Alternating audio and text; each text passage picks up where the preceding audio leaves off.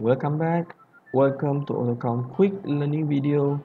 And the topic is stock transfer. I will be using stock transfer example. HQ is transferring an existing stock to branch location. To begin, click at the top menu, Master Data. Under General category, select Location. In System Default, there is an existing location called Headquarters or HQ. We will be adding another location which is Branch 1. Click at New Enter location branch 1 Description If you have an address, you may click your address, a contact person and a notes for your reference. Back to Basic tab. Click Save to proceed. Now we have another location called branch 1. Let's try it out. We will create a stock transfer document. Click at your left panel under stock, stock transfer. Create a new document. Select your date. If you look at my stock transfer number, there is an indication of bracket new in the middle.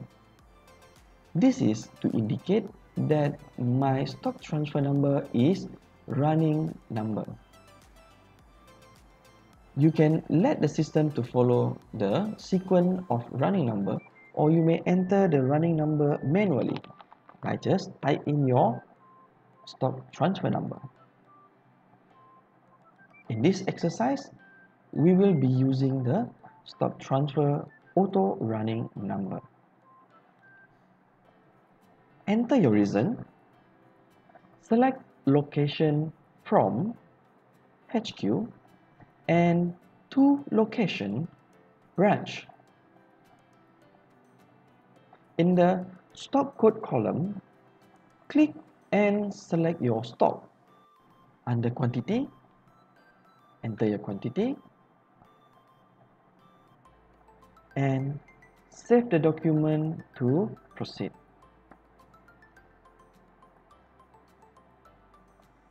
In the stock transfer listing, you can see that there's one document newly created appear on the listing. Let's look at our report. Click Report, Stock Card, select Date Range, and click Enquiry. This will show my stock balance before the transfer change again. The date range. Up to date. And it will show that stock has been transferred to branch location. You may click add print report. Click ok to preview the stock report. Stock has been transferred from HQ to branch 1 quantity